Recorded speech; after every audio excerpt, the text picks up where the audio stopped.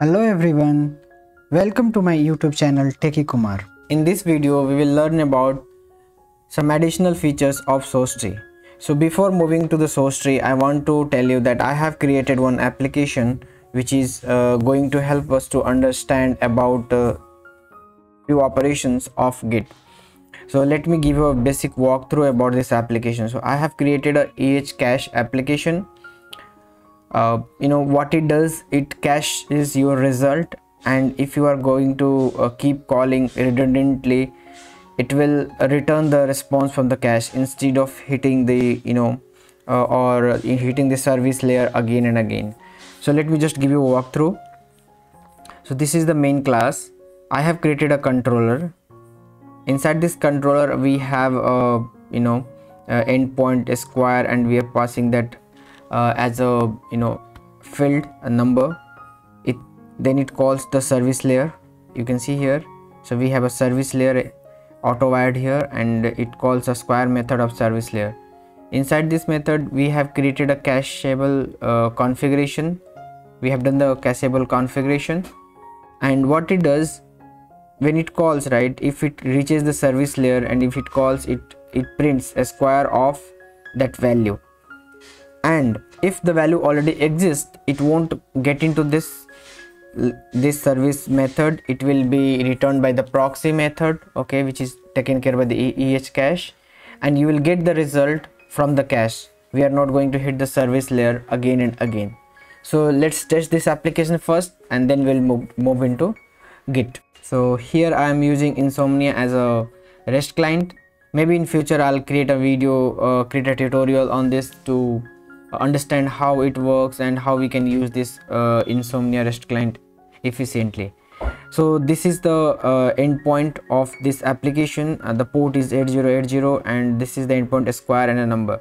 So i'm going to call this. So just keep an eye on here. I'm going let me just clean this. Okay and let's take another number. I'm going to take a number like say 15 so when i call first time you can see that uh, the output is 2 to 5 and here you can say uh, it goes to controller and it also goes to service layer. That's why we are getting output square of this. Now let me hit this again. Okay so in this this time you can see right it's it's it's not going into uh, service layer because it's not printing this square of this uh, line right? But still it is returning the same output. If i try to hit it again multiple times i'll get the same result. Okay let's try with some other number. If i go with 16 okay so this time you can see right a square of 16 is 256 it means first time it goes to service layer for the you know calculation. And the next time when you whenever you return or ask for the same thing it it returns the data from the cache.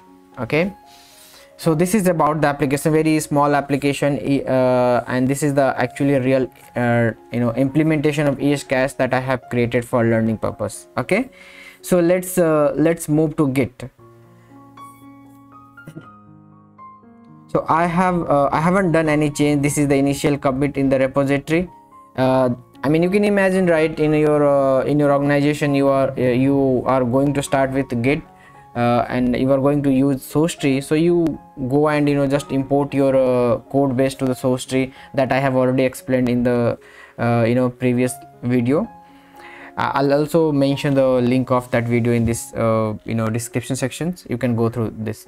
Now what we are going to do we are going to do few changes and pushing them to code base repository. So let's start. This is the source tree right? And now we have IntelliJ here. Okay.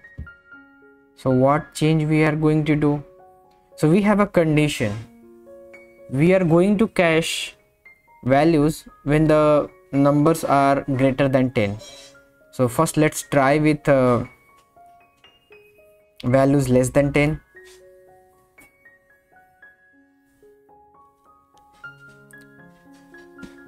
so i'm going with i'm going to find the square of 8 you can see it goes to controller then it goes to service layer. I'm going to hit it again. Okay. So i you can see that this time again it goes to controller and then then to the service layer. It means that values less than 10 is not being cached. So that's the reason we are hitting the service layer again and again. And if we are going with uh, you know let's say 21 value is greater than 10 right and if i try again again so you can see that it goes first time to the service layer and then it never goes to service layer. So now on that note what we'll do we'll do some change. We change the requirement. We'll make that you know if the value is greater than 5 so this is the change i have done in my code base. I'll go to source tree. I'll go to file status so when i go here i can see like what are the changes i have done. Okay? So these things are like in a part of the git ignore. So you can just mention that you know like okay. So now we have these many changes. Whatever the changes we want to post to server. So as of now we are not going to push these many things we are going to push only the changes that is required. So this is the change. I have updated the value from 10 to 5 so first you do unstaged and then you go for the stage so this is the stage section this is unstaged section okay? Now this is the file uh, and any modification in this file is going to be committed and post to this repository. So now the next action is to we have to pass the commit message so there are two ways to uh, commit and push. First you commit. Let me show you. Commit. So commit is done. If i go to file history file status you can see that there is nothing is staged and we don't have a, the, that file here. Now if you can see one uh, notification here it says like you know one commit is need to be pushed to server. So you, you can just click here. It is going to from local branch to remote branch. Suppose if you want to push that this data to some other branch so you can select those branches from here okay? Now you just click ok. That's done. So the commit task is done. Let's go to server. Now if i refresh and you know let me go here again and we can go to commits so you can you can see that right? The recent commit. If you click here you can see the change as well. So this is how it, looks okay? So this is for commit. Now what's next? So we learned about commit and push. We will do so few more commits and then i will uh, let you know about another feature okay? We'll do some changes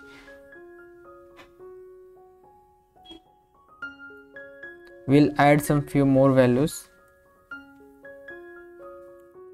Controller. Just to know from where it is being called.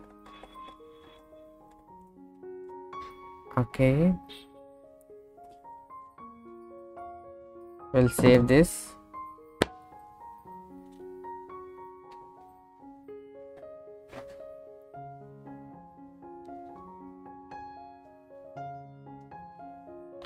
in here we'll make this service. Okay we'll restart the application.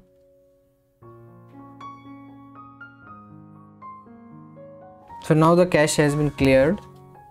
Now if I try for the same thing first time so it will hit controller and the service as well. Next time call it calls only controller so this is the second change what I have done. I'm going to do the commit this change and push it to the server. So let's go to file status. So we'll select java files. Uh, uncheck this. Before pushing the data to the server we should make sure that we are pushing only our changes not others changes so you should come to this section and you need to verify what are the changes you have done. Is there any any commit or any uh, any change you are you know which is unnecessary change that is going to be to your code base? For example you can see that this IDE has modified many files or created new files as well but I'm not interested in those files and those files should not go to the repository. So please keep that in mind. So i have verified it looks good. Now i'm going to do another you know commit. So this time i'll tell you how to do commit and push all together. So i'll go to history i'll go to here commit message and put a proper commit. Now click here. And this time it will commit and it will push immediately to your main branch.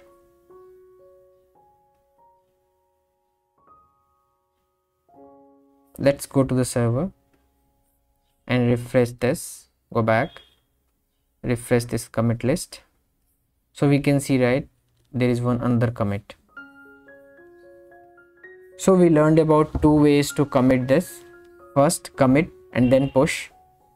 Second commit and push all together. The next operation we are going to see about fetch. So fetch is like you know git fetch so if we want to fetch all the changes what's being done in the repository we can click here and click ok. So it will try to fetch is if there is any change in the server.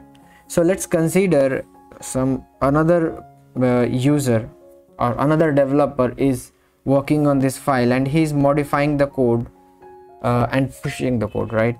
So i'm just trying to simulate that condition here. So i'm not going to open another id and uh, uh, you know work as a different developer but what i'm going to do i'm going to modify the code from here itself. So you consider this as uh, another developer. So i'll open this file and i'll edit it here.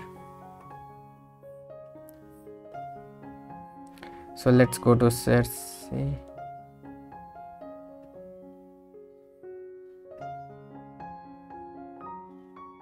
so inside the main class I'll do the change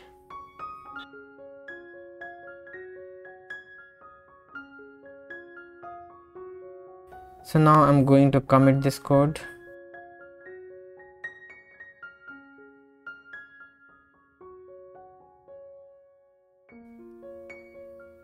Okay commit. So if we go to commit section here let me go to code. And if i go to commits i can see four commits. But in my the last commit was done by some other developer. Just consider it so if i'm going to you know uh, going to show tree in the history we can see that we have only three commits it means that Meanwhile, I was working on some change. Someone has updated the code base by adding new functionality or some few new changes. So what we need to push that change to our local our local you know code base repository and then I'll, I'll I need to do the development on top of that. So I'll do the fetch. What it does, it fetches the you know changes done on the uh, code base, but it it won't apply. Okay. So it fetches the you know uh, uh, changes and it notifies you that you have a one commit which has which is not yet in your local repository. So what we should do you can see it's clearly mentioned one behind. It means that you have one you, you don't have one commit that need to be here in your code base to you know proceed with development on top of that. So let's uh, pull that. So to fetch that uh, to pull that information we can go with pull commit. Sorry okay. Now we are good. So now my local code base and the remote i mean the repository server both are at the same level okay now so that's all about for this video in the next video we will discuss about how to test your application on different commit levels using source tree. It will help you to identify at to which until which commit your application was working fine and which commit has broken your application. So we'll see that in the next video. Thank you so much for watching this and if you like it please hit the like button and don't forget to subscribe my channel. Thank you so much.